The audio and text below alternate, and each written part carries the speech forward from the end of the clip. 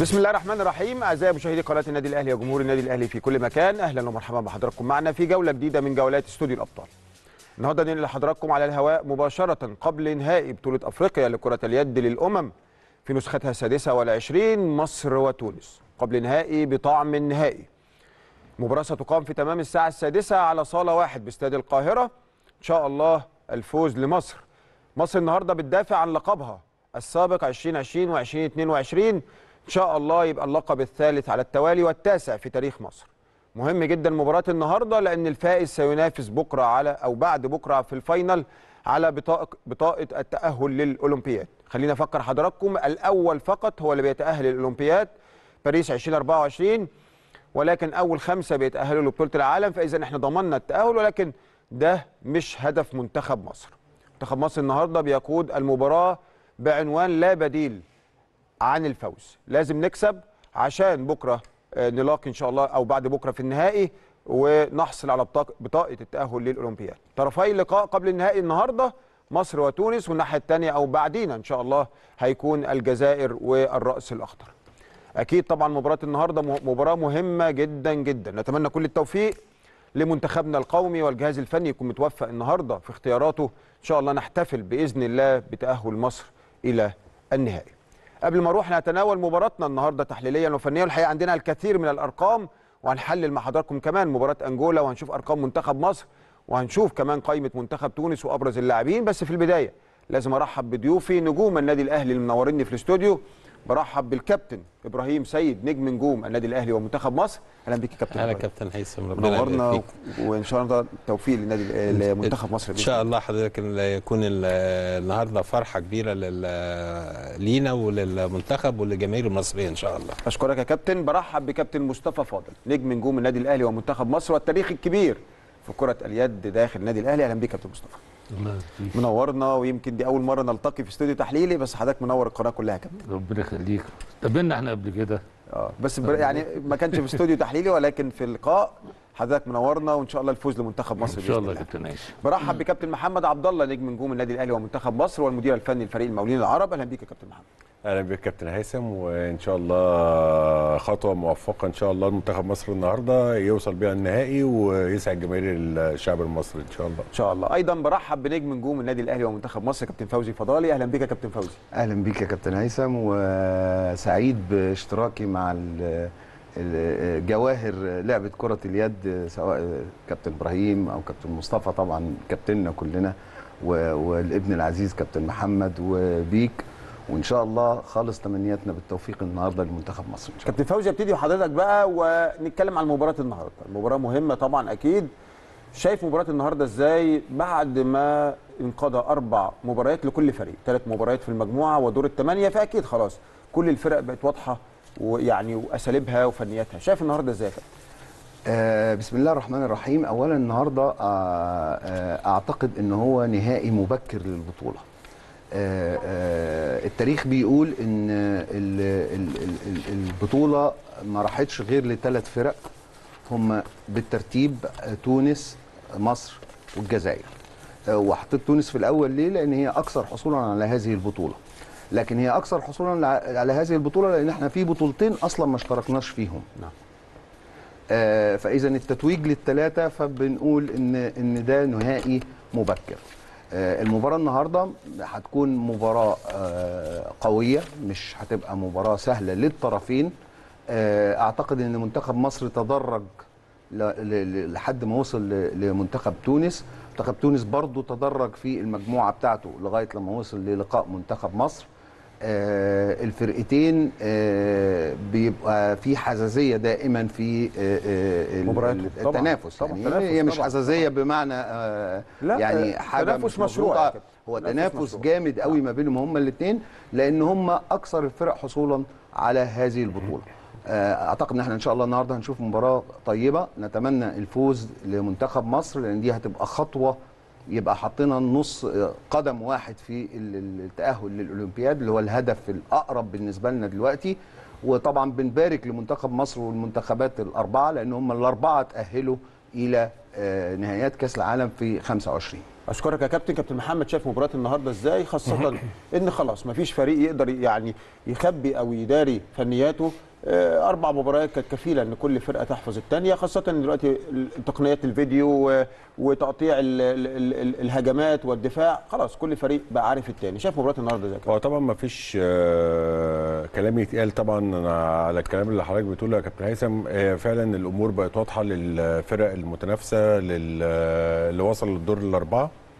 آه، بالذات آه، منتخب مصر مباراة منتخب مصر وتونس.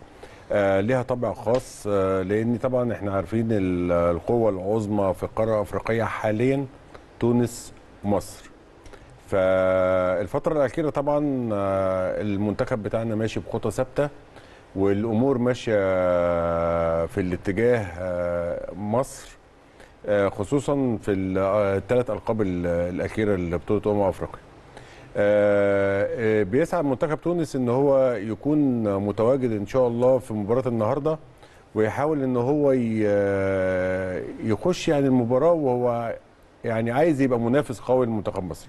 إن شاء الله اللي أنا حاسه بالنتائج بتاعت منتخب مصر في الأدوار ال- الأولى والتهيئة اللي أنا شفتها عن قرب أنا بقول لحضرتك عن قرب لأن أنا كنت قريب من المنتخب إمبارح فكنت حاسس بيهم مدى الاستعداد الموجود عند اللعيبة آه، تكاتف الجهود كلها سواء من القيادة السياسية على مستوى الدولة أو آه، وزير الشباب والرياضة الدكتور أشرف صبحي آه، د- دكتور محمد الأمين كلهم مسخرين الأمور للمنتخب إن إحنا إن شاء الله نعمل حاجة كويسة لمنتخبنا في البطولة دي. إن شاء الله نفوز يا كابتن. ونبارك لحضرتك النهارده ولكل ضيوفي بعد الفوز والتأهل النهائي. الله، بإذن الله. كابتن إبراهيم يعني شايف النهارده كلمة السر في الفوز إيه؟ لو قلنا إن لو حضرتك النهارده بتوجه رسالة للاعبين للجماهير إيه كلمة السر بالفوز في مباراة زي دي؟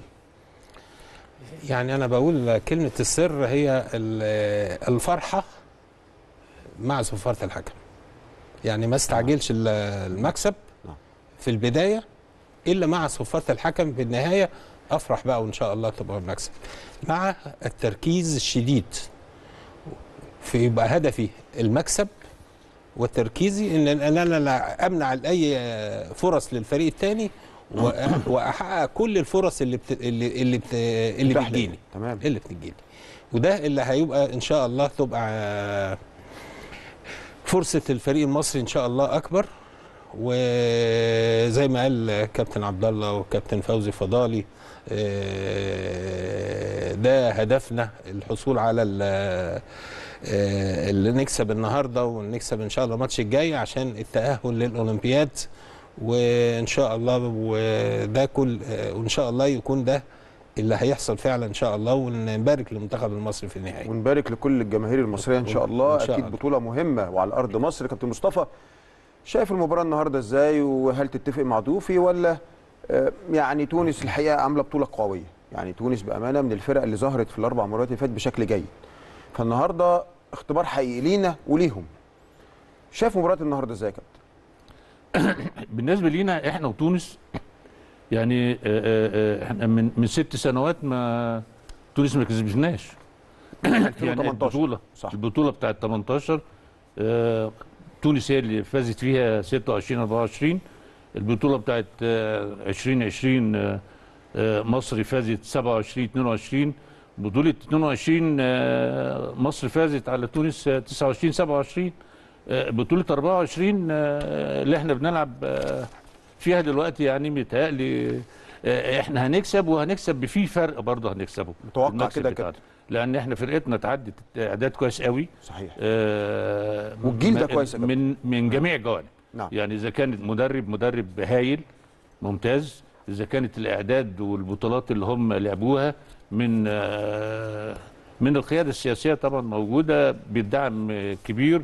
آه، وزاره الشباب والرياضة برضو دعم كبير. الاتحاد برضو يعني خطط خطط للفرقة في الإعداد بتاعها الفني وال- وال- والإداري حتى كمان. نعم. فهيبان ده في المباراة بتاعت النهارده اللي هي تعتبر يعني نهائي مبكر البطولة. وإن شاء الله طبعا البطولة دي يعني مصر هنقول مصر ومصر ومصر إن شاء الله. إن شاء الله يا كابتن بإذن الله ونبارك لبعض بعد المباراة. ويكفي أن هذه البطولة الحقيقة تحت رعاية فخامة السيد الرئيس عبد الفتاح السيسي لأهمية هذه البطولة طبعا وأكيد لعبة كرة اليد هي اللعبه الشعبيه الثانية وفرضت نفسها بعد نتائج منتخب مصر الرائعة في كثير من المحافل. بس خلينا أستعرض مع حضراتكم بعض الأرقام المهمة. تاريخ البطولة أو تاريخ بطولة أمم أفريقيا على مدار تاريخها تونس 10 ألقاب. مصر 8 ألقاب. إن شاء الله يكون ال- ال- ال- البطولة دي هي اللقب التاسع. والجزائر سبع ألقاب زي ما تفضل كابتن فوزي فضالي وقال إن هم ثلاث دول فقط في شمال أفريقيا هم اللي حصلوا على هذه البطولة تونس ومصر والجزائر. تونس كانت في السبعينات يعني هي في الجيل الذهبي السبعينات مصر من أول التسعينات وحتى آه الآن الحقيقة والجزائر كانت في الثمانينات الجيل الذهبي آه للجزائر. طيب آه عايز أستعرض مع حضراتكم برضو لقاءات ثمن النهائي أو دور الثمانيه كانت المباراة الأولى الراس الأخضر والمغرب والراس الأخضر فازت 31 22 أيضا الرأس الأخضر هنا بتحط بصمتها وبتتأهل زي كرة القدم وبشكل منتخب جيد. زي ما قلنا الرأس الأخضر عاملة طفرة كبيرة. يمكن أنا حاضرني هنا كرة السلة وكرة اليد وكرة القدم. الرأس الأخضر تلك الجزيرة الصغيرة الحقيقة عاملة يعني آه، شغل كويس جدا في الألعاب الجماعية. اللقاء الثاني أو كان الجزائر والكونغو الديمقراطية وفريق الجزائر الشقيق فاز ب 36 23 مصر وانجولا واللي نقلناها على شاشة قناة النادي الأهلي أول أمس فازت مصر 37 25 أما اللقاء الرابع فتونس وغينيا وفازت تونس 37 24 يعني واضح جدا من النتائج اللي شفتوها حضراتكم في دور ثمن النهائي. الفارق بين الفرق المشاركة. يعني الأربع فرق آه، عاليين جدا وأربع فرق الحقيقة كانوا أقل. زي ما حضراتكم شايفين دي لقطات من أرض الملعب آه، وصاله واحد بتتزين. آه، آه، طبعا آه، مباشرة زي ما حضراتكم شايفين صالة واحد آه، يعني بتتزين بشكل كبير وشكلها الحقيقة صالة آه، يعني أوروبية. بمعنى الكلمة آه، والاستعداد كان جيد وكل الدعم كان من وزارة الشباب والرياضة الدكتور أشرف صبحي وطبعا آه، آه، رئيس هيئة استاد القاهرة. يعني هيئوا الصاله بكل شيء بحيث انها تظهر بالمظهر اللي حضراتكم شايفينه ده لأن الصورة دي أكيد بتتنقل لكل حتة في العالم. زي ما قلت لحضراتكم في البداية النهارده نصف النهائي عبارة عن لقاءين مصر وتونس والجزائر والرأس الأخضر هيكون الساعة 8 ونصف إن شاء الله. آه طيب آه سريعا كده يمكن كابتن آه إبراهيم لو يعني تتفضل نتائج مصر في المجموعة كانت إيه وكانت ماشية إزاي لأن برضو محتاجين ناخد يعني يعني زي مؤشر أو نذكر حضراتكم بنتائج مصر. كانت إزاي؟ كابتن إبراهيم اتفضل يا كابتن. هي مصر كانت في المجموعة الثانية اللي كانت بتشمل مصر وغينيا والكونغو والكاميرون. آه، وابتدت مصر أول ماتش ليها مع غينيا وكانت نتيجتها آه، 33 15 والماتش الثاني كان ما بين مصر والكونغو والنتيجة بتاعتها كان 34 19 والماتش الثالث كان مع الكاميرون آه، 35 آه، 16 وفي الربع النهائي في دور الثمانية كان مصر بتلعب مع أنجولا وحققت فيها نتيجة 37 25 أشكرك يا كابتن ويظهر جليا تفوق منتخب مصر في كل اللقاءات بفارق score كبير. أجي لك كابتن مصطفى يعني محتاجين برضو نستعرض مع السادة المشاهدين نتائج تونس عشان برضو السادة المشاهدين يبقوا عارفين إحنا آه، يعني تونس عملت إيه في مجموعتها وكانت في أنهي مجموعة ولقاءاتها كانت شكلها إيه؟ اتفضل يا كابتن مصطفى. آه، إحنا أنا يعني الوجه العام أنا شايف إن النتائج كلها ما عدتش ال 40 الا في مباراة واحدة بس اللي هي تعدت اللي هي تونس وكينيا. نعم. اللي هي 59 18 وكل النتائج بتاعت بجميع ال- المجاميع كلها تحت ال 40 نعم. يعني تونس مع مع كينيا 59 18 وده الو- ال- الفرق الوحيد اللي عدى ال 40 نعم. آه، تونس آه، ونيجيريا 36 19 تونس 33 مع أنجولا 30 نعم. ف- فبالتالي طلعت تونس وطلعت وطلعت غينيا. نعم. فدي يعني دي الظاهرة اللي هي موجودة حاليا دلوقتي إزاي إن النتائج كلها متقاربة. نعم.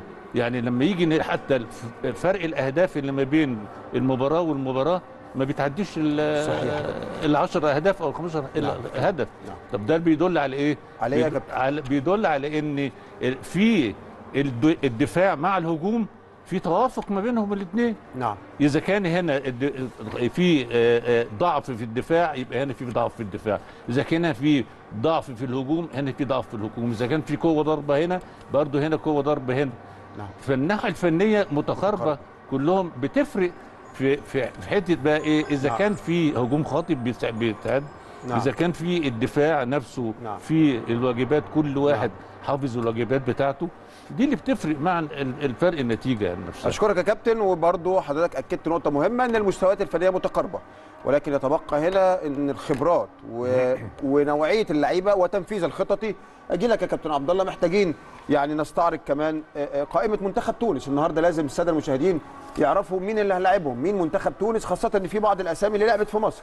و... وفي بعض الأسامي اللي مشهوره للجمهور المصري فاستأذن حضرتك تستعرض معايا منتخب تونس وكابتن فضالي هيبقى منتخب مصر إن شاء الله. اتفضل يا كابتن. عندنا حارس المرمى أصيل النملي رقم واحد ورامي الفقيه رقم 8 بلال الع- العيديني الع- العبدلي رقم 10 محمد عزيز عبادي رقم 16 ده حارس مرمى برضو.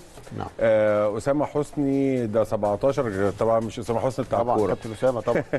اتفضل يا آه، مصباح الصنعي طبعا آه، محترف آه، في الإمارات في نادي النصر الإماراتي. آه، يوسف معرف آه، كان محترف آه، في النادي الأهلي وحاليا بيلعب في الدوري التونسي.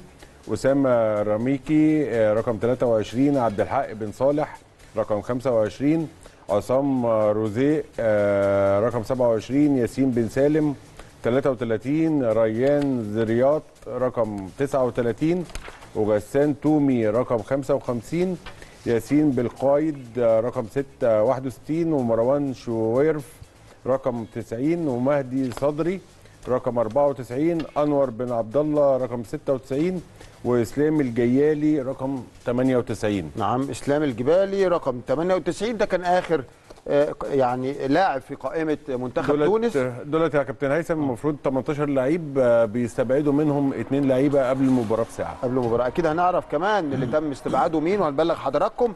أروح لكابتن الكبير كابتن فوزي فضالي نستعرض قائمة منتخب مصر يا كابتن. اتفضل يا كابتن. طبعا على رأس القائمة الأول الجهاز الفني الأسباني خوان كارلوس باستور المدرب الأسباني وده حصل على كأس العالم مرة قبل كده مع إسبانيا. نعم. آه، كابتن هاني الفخراني المدرب العام وكابتن هاني له تاريخ وباع كثير في أكثر من بطولة من بطولات العالم. آه، كابتن نور أبو زيد المدير ال- النشط جدا لمنتخب مصر. نعم. سيرة مدرب حراس المرمى دكتور محمد شوقي طبيب المنتخب محمد إمام المحلل الفني مانويل أورتيجا المعد البدني المعد البدني محمود سعيد إداري الفريق. القايمة يعني هم 18 لعيب برضه هيتم استب... يعني آه، استبعاد اثنين لعيبة من ال 18 نعم. لحد ما تجيلنا هم على الآتي يحيى خالد رقم خمسة عبد الرحمن فيصل رقم 10 أحمد خيري 17 إبراهيم المصري 24 يحيى الدرع 39 آه، حسن قداح 42 سيف الدرع 45 مهاب سعيد 48 أكرم يسري 53 محسن رمضان 55 آه، أحمد هشام سيسا 79 أحمد عادل 80 كريم هنداوي حراسة المرمى طبعا 88 محمد ممدوح هاشم 89 علي زين 90 محمد سند 91 محمد علي 92 ومحمد عصام الطيار آه، 96 طبعا دول 18 لعيب آه، هيتم استبعاد اثنين. استبعاد اثنين أشكرك يا كابتن فوزي وخليني برضو أستعرض مع حضراتكم سريعا بعض الإحصائيات لمنتخب مصر وتونس في هذه البطولة. تونس الأكثر احرازا للأهداف ومصر الأقوى دفاعا. دي كانت آه، آه، الرؤية لإحصائيات أربع آه، مباريات في البطولة أقوى خط هجوم حتى الآن هو منتخب تونس في البطولة أحرز 165 هدف في أربع مباريات بواقع 41 و2 من عشرة هدف في كل مباراة وأكيد زي ما تفضل كابتن مصطفى وقال إن مباراة كينيا لما وصلت ل 50 هدف هو ده اللي عل متوسط إحراز الأهداف لمنتخب تونس. أقوى خط دفاع وده اللي يهمني الحقيقة ويهم أكيد ضيوفي الكرام أقوى خط دفاع هو خط دفاع منتخب مصر. دخل فيه مرماه 75 هدف بواقع 18 75.75% هدف في كل مباراة والحقيقة هو ده اللي يهمنا. بالدفاع تستطيع أن تحسم البطولات وليس بالهجوم فقط. مشاركات المنتخبات افريقيا برضه هستعرض مع حضراتكم بعض الأرقام. منتخب تونس شارك 25 بطولة وأيضا منتخب مصر شارك في نفس العدد 25 بطولة ولكن ألغيت نتائج أول مشاركتين لينا ليصبح عدد المش- المشاركات المسجلة 23 مشاركة فعلية لمنتخب آه، مصر. زي ما قلت لحضراتكم عدد بطولات حتى الآن للفرق مصر تونس 10 ألقاب مصر 8 ألقاب والجزائر 7 ولكن إحنا هنا في المقارنة بين الفريقين. هداف المنتخبين هداف منتخب مصر اللاعب محمد سند حتى الآن في البطولة وأحرز 18 هدف. هداف منتخب تونس اللاعب عصام روزيه وغسان تومي.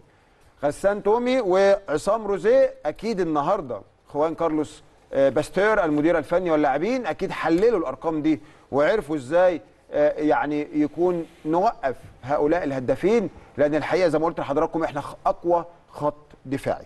وده الحقيقة اللي بيعتمد عليه أو المدرسة الأسبانية.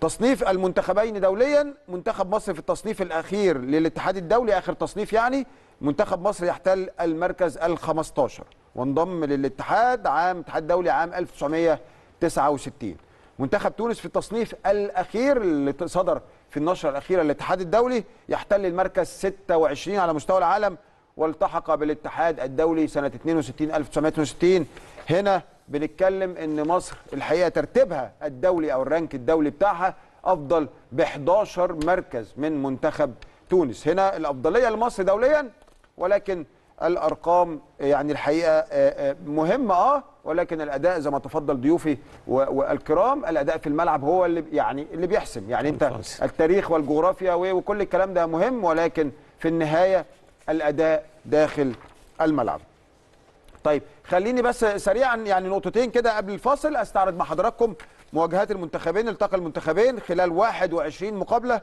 من قبل. من قبل المقابلة دي 21 مرة اتقابلنا في البطولات الرسمية.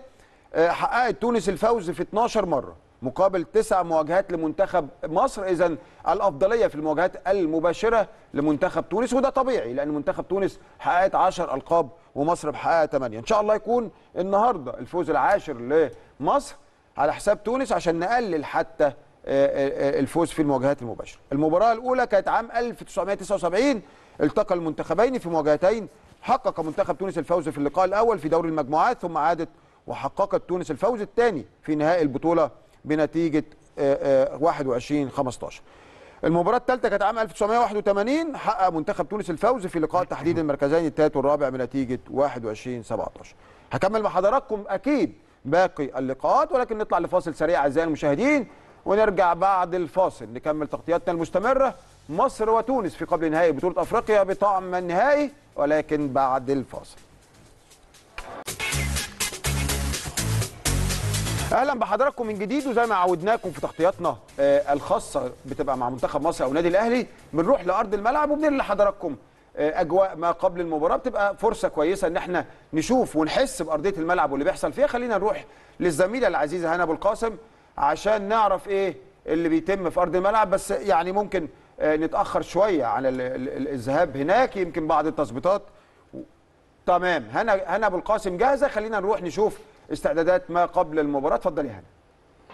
برحب بيك يا كابتن هيثم وبضيوفك الكرام نجوم الاستوديو التحليلي الكبار وبكل مشاهدي قناة الأهلي في كل مكان ومن داخل صالة استاد القاهرة هنقل لكم كل الأجواء وكمان الاستعدادات قبل انطلاق المباراة المرتقبة طبعا بين منتخبنا الوطني ومنتخب تونس وسامي فاينل كأس الأمم الإفريقية. يعني قبل ما أبدأ الحقيقة أكلمكم عن استعدادات المنتخبين. حقيقه الأجواء داخل الصالة ممتعة جدا ومميزة جدا. انه الحاجة السارة إنه آه، أعداد الجماهير بشكل كبير جدا وفي حالة من الروح والحماس. ويمكن لاعبينا كانوا بيطالبوا الجماهير بالتواجد والحقيقة إنه فعلا الجماهير متواجدين. النهارده في أجواء جميلة جدا وأكثر من رائعة. الكل بيدعم منتخبنا الوطني اللي بالتأكيد بنتمنى له كل التوفيق في مباراته النهارده. يعني إحنا النهارده طبعا بنلعب semi final لكن هو بطعم ال final المبكر. لأن طبعا زي ما إحنا عارفين إن منتخب تونس هو الحقيقة يعني المنافس الأقوى لمنتخبنا الوطني في كأس الأمم الإفريقية. لكن بالتأكيد بالتاكيد عندنا ثقة كاملة في رجال منتخبنا الوطني إن هم إن شاء الله كالعادة هيكونوا على قدر كبير من المسؤولية ويقدروا يحسموا المباراة لصالحهم. طبعا هم استعدوا بشكل قوي جدا لهذه البطولة. شفناهم بيواجهوا يعني عمالقة العالم طبعا سواء منتخب هولندا منتخب النرويج أو منتخب الدنمارك. كانوا بيعملوا حقيقه مباريات طيبة جدا يعني أمامهم. بالتأكيد بنتمنى لهم كل التوفيق لأن طبعا يا كابتن هيثم زي ما حضرتك عارف الفائز بهذه البطولة هيتأهل مباشرة لأولمبيكس باريس 2024 فبالتأكيد ده بيكون حلم كل المنتخبات وإن شاء الله بقى البطولة تكون البطولة التاسعة لمنتخبنا الوطني بنتمنى له كل التوفيق. يعني طبعا زي ما إحنا عارفين إنه مش بيكون في وقت كبير بين المباريات الاستعداد بشكل قوي. الفريق امبارح خاض مرانين مران صباحي في صالة الجيم وميران الساعة 5 مساء في الصالة عشان بقى يناقشوا بعض الأمور طبعا المتعلقة بمباراة النهارده. وكان في النهارده صباحا محاضرة بالفيديو عشان يدرسوا أكتر منتخب تونس. في حالة كبيرة جدا من التركيز باينه يمكن على وجوه لاعبي منتخبنا الوطني وبالتأكيد منتخب تونس يعني إحنا على موعد مع مباراة كبيرة جدا و semi final الحقيقة شيق جدا إن شاء الله يكون من نصيب منتخبنا الوطني. خلوني أفكر حضراتكم بالحقيقة مشوار منتخبنا الوطني ومنتخب تونس في هذه البطوله حتى الآن. طبعا منتخبنا الوطني فاز في العلامة الكاملة في دور المجموعات. كان بيقع على رأس المجموعة الثانية بجانب طبعا كونغو آه، برازيفيل والكاميرون وغينيا. وشفناه الحقيقة بيقدم مباريات كبيرة.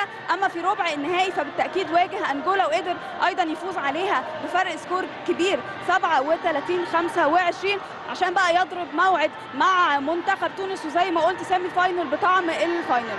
أما عن منتخب تونس فهو طبعا كان بيقع في المجموعة الرابعة بجانب طبعا أنجولا ونيجيريا وكينيا وضرب موعد طبعا مع غينيا في ربع النهائي وقدر يفوز عليه بنتيجة 37 24 عشان بقى يواجه منتخبنا الوطني في ال semi final. طبعا بنتمنى كل التوفيق لمنتخب مصر. إن شاء الله كالعادة هيكونوا رجال وعلى موعد مع هذه المباراة. ونكون بنحتفل بقى مع حضراتكم في الاستوديو عقب انتهاء المباراة بفوز منتخبنا الوطني. وكالعادة يكون معانا لقاءات حصرية. طبعا معاك يا كابتن هيثم لو عندك أي استفسارات. والآن العودة ليكم مرة أخرى في الاستوديو.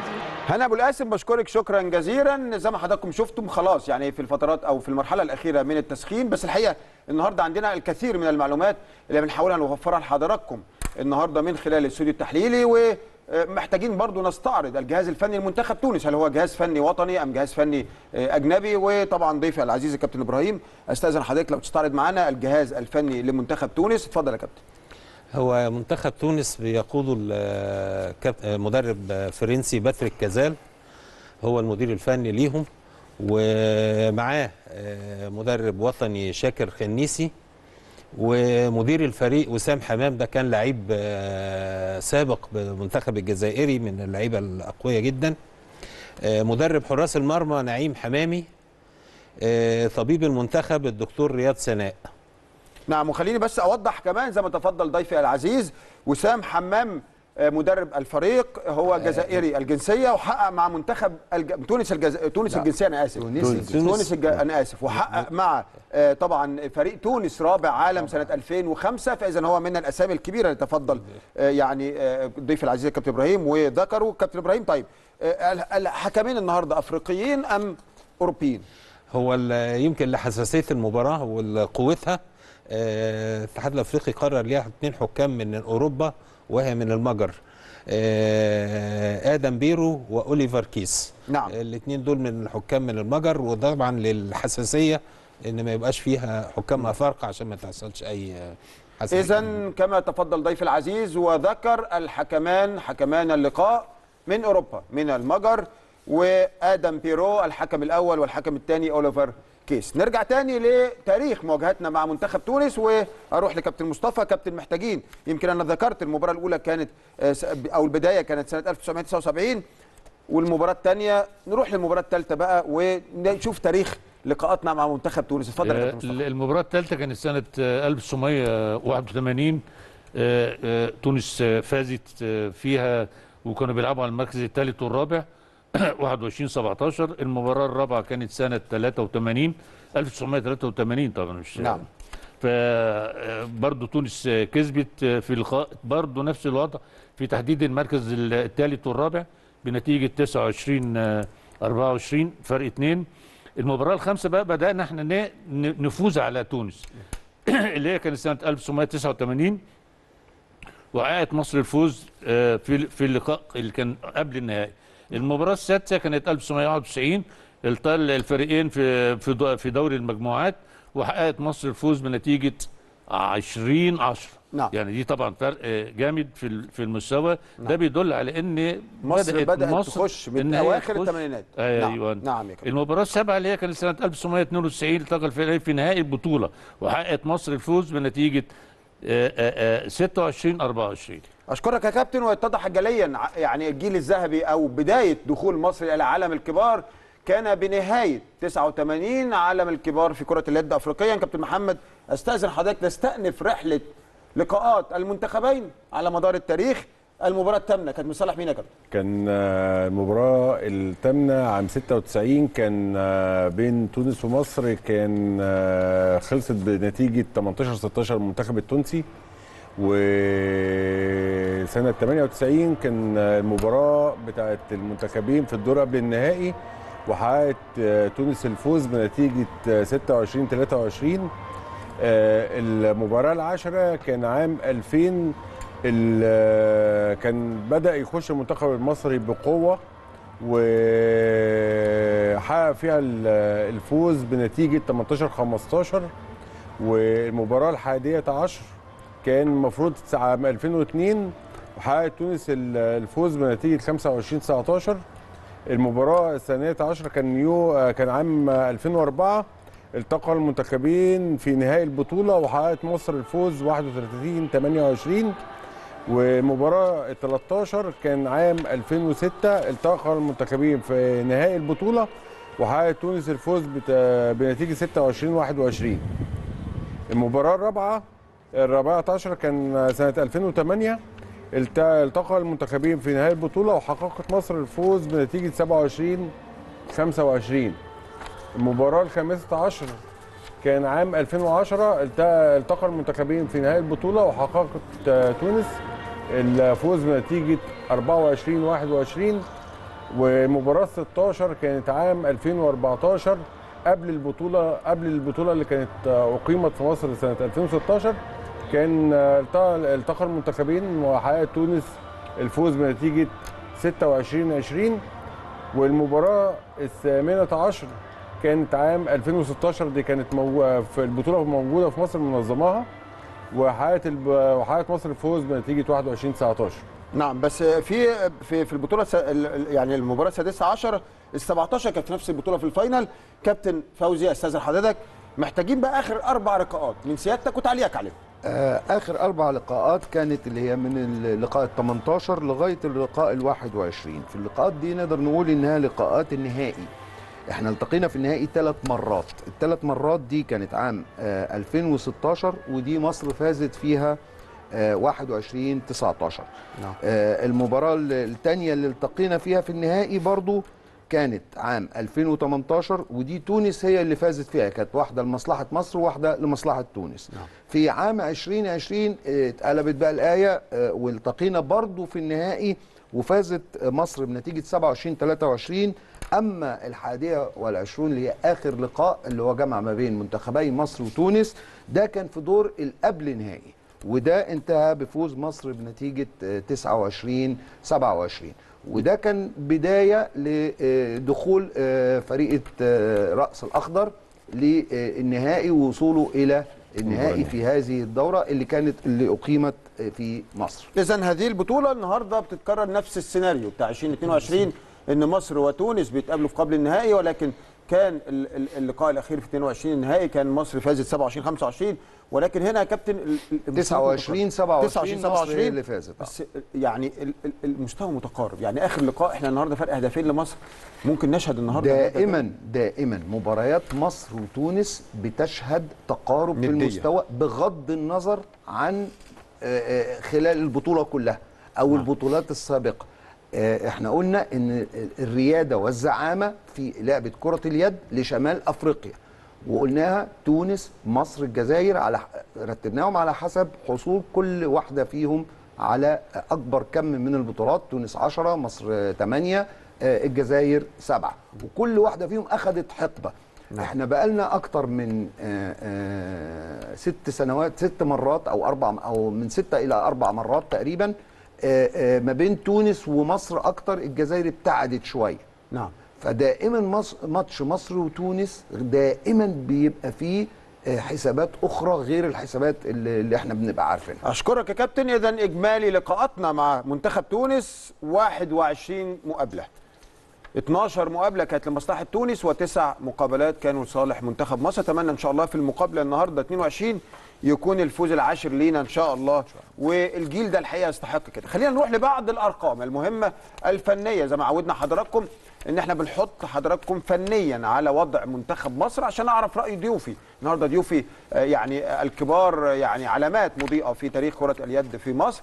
مهم جدا أسمع آه، آرائهم على بعض الأمور الفنية. هروح لمنتخب أو مباراة أنجولا اللي هي كانت الأهم والأقوى لمنتخب مصر كانت في دور الثمانيه وهنشوف بعض الأرقام وهبتدي طبعا بكابتن مصطفى ضيفي العزيز. كابتن مصطفى يمكن منتخب مصر صوب آه، 48 تصويبة على الهدف في منتخب أنجولا. وسجل 37 هدف بنسبة 75.3% شايف دي نسبة جيدة يا كابتن ولا لا؟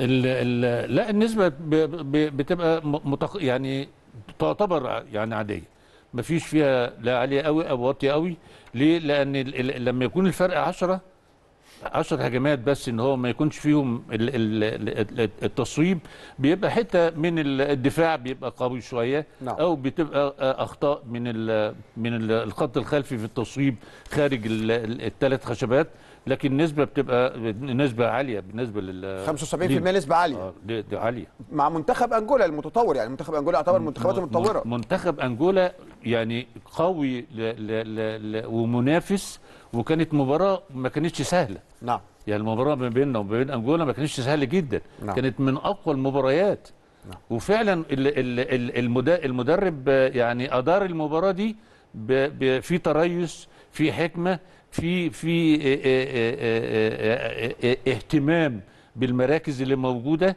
في حتى بالنسبة للعيبة قدر إن هو يحرك اللعيبة كلها في الملعب نعم. مع بعض وهو اللي كان قائد ماسك الفريق من. من. من بداية الهجمة إلى نهاية الهجمة وإذا كان في أخطاء بتبقى. أخطاء من.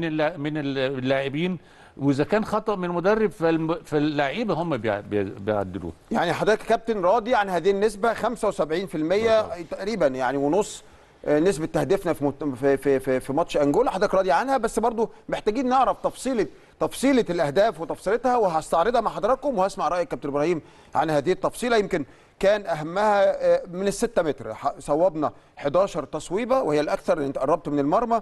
حطيت تسع أهداف. كانت أكتر نسبة من التصويب كانت على الستة ياردة. آه، تاني بقى من الوينجات إحنا طول المباراة ثلاث تصويبات من الوينجات حطينا اثنين وفي التسعة ياردة آه، سبع تصويبات حطينا أربعة.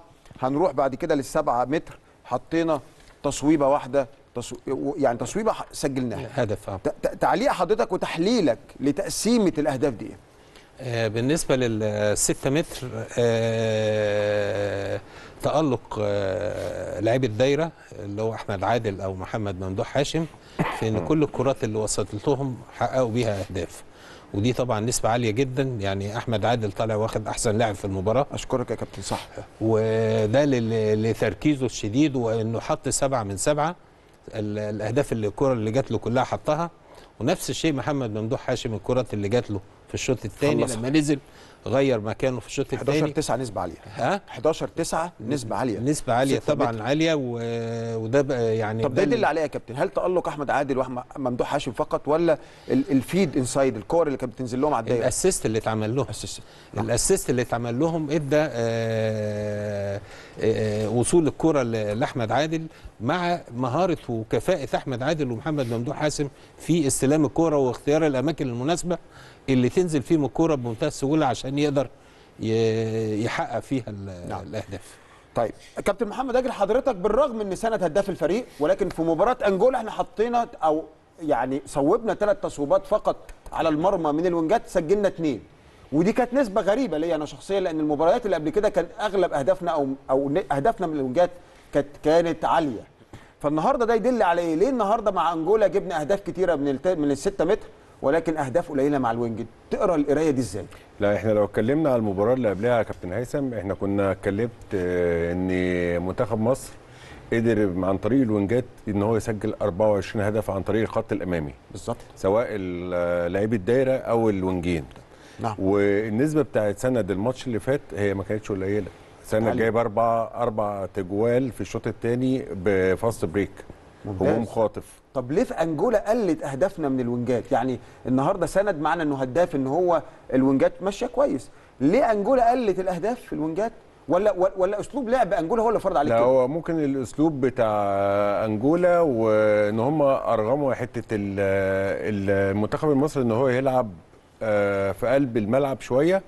وبالتالي فتح ثغرات آه، لأحمد عادل ومحمد ممدوح هاشم يمكن اللاعبي الدايرة لوحدهم كانوا جايبين 13 هدف في المباراة ديت بتاعت أنجولا من على من من على 6 متر من على الدايرة.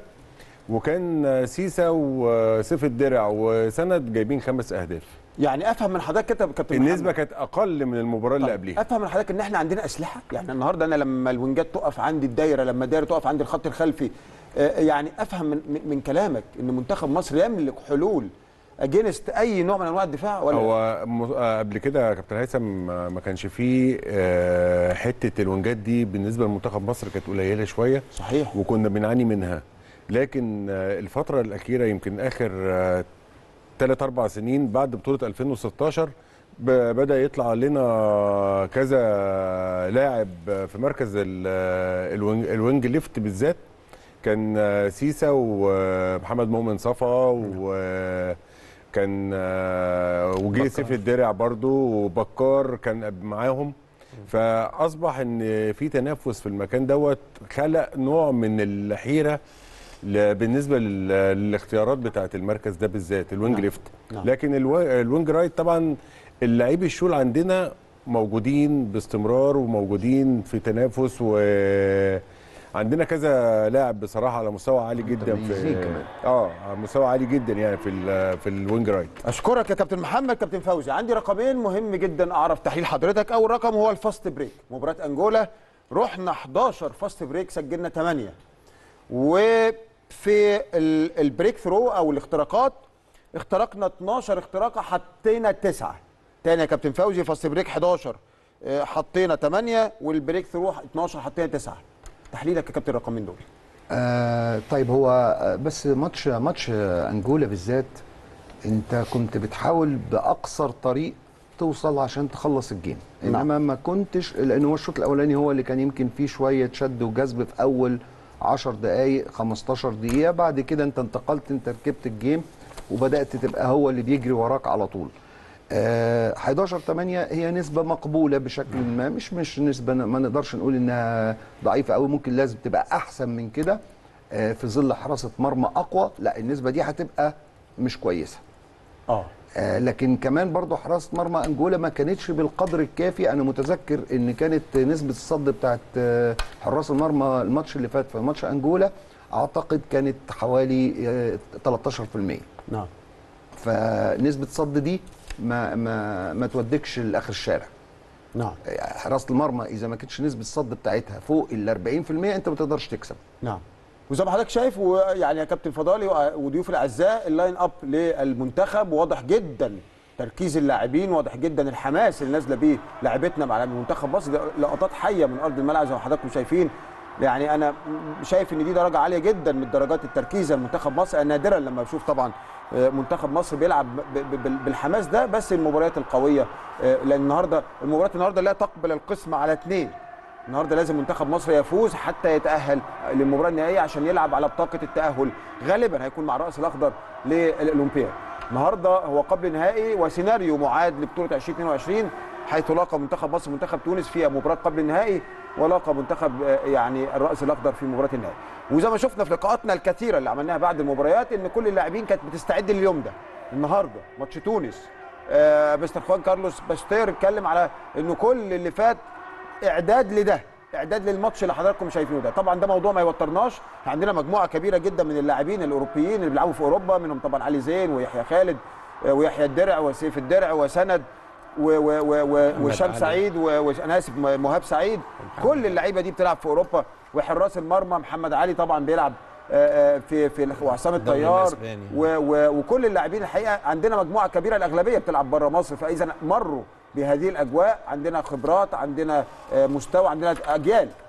يعني كثيرة في آه، آه، المنتخب. بس برضو يعني أجي الكابتن مصطفى في رقمين يا كابتن مصطفى محتاج برضو أعرف رأي حضرتك فيها خاصة إن إحنا شفناها بتتكرر كتير. مصر حققت من الامتي جول أو ال- ال- ال- ال- ال- المرمى الفارغ حقق- حققت ثلاث أهداف. شفنا كتير جدا من الفرق اللي إحنا بنقابلها من صلابة الدفاع المصري بيطلع حارس المرمى وينزل لاعب عشان يهجم بسبع لاعبين على منتخب مصر. ومصر النهارده حققت ثلاث اجوان من ثلاث تصويبات في ال- الجول الفارغ. دي تدللك عليها يا كابتن؟ مش يعني هي بتدلنا ان الفرقة مت... يعني الفرقة في تجانس بين- ما بين الفرق. في ال- آه، آه، آه، قرب في الأفكار والتدريب ما بين المدرب واللعيبة. نعم. لأن اللعيب لازم هينفذ تعليمات المدرب اللي نعم. هو مرنه أساسا عليه عليها. ففي إن هو الخطة نفسها اللي هم بيأدوها داخل الملعب طبعا دي محفوظة. ومين هيطلع ومين هيخش ومين هيصاب ومين هيسقط. لأن إحنا شايفين إن كل ال ال ال ال ال الفرق بيننا وبين مباريات تونس يمكن حضرتك لما. قلت الإحصائية نعم. بقى فرق هدفين. فين يعني ست مرات. فرق صحيح. هدفين. صح. ثلاث مرات فرق ثلاث أهداف. بعد كده في فرق آه، قريب. طيب. يعني- كابتن مصطفى هستأذن حضرتك واستأذن السادة الضيوف. خلاص أنا شايف لحظات وهتنطلق المباراة. خلينا نطير لصالة واحد.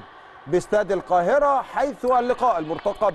مصر وتونس في قبل نهائي بطولة أفريقيا في نسختها السادسة والعشرين ومعلقنا الكابتن إيهاب رجب. كل التوفيق لمنتخب مصر. إليك الكلمة يا كابتن إيهاب.